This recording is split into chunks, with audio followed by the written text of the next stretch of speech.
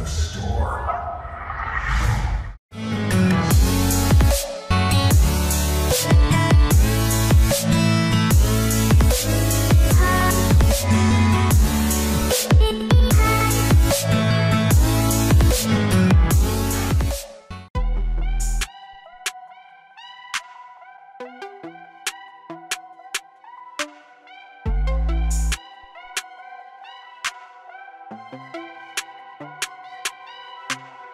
The Sioux Falls Storm are part of the Indoor Football League, or IFL. The IFL is a professional indoor American football league created in 2008 out of the merger between the Intense Football League and the United Indoor Football League.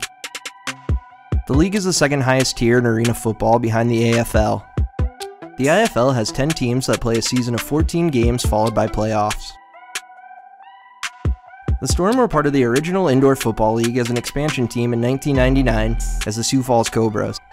Prior to that, they were part of the United Indoor Football League, where they won all four of the league's championships, and in the IFL, they have won six out of nine championships. The Storm play at the Denny Sanford Premier Center. Tickets typically range between $9 and $60 for single games, and $75 to $531 for season tickets.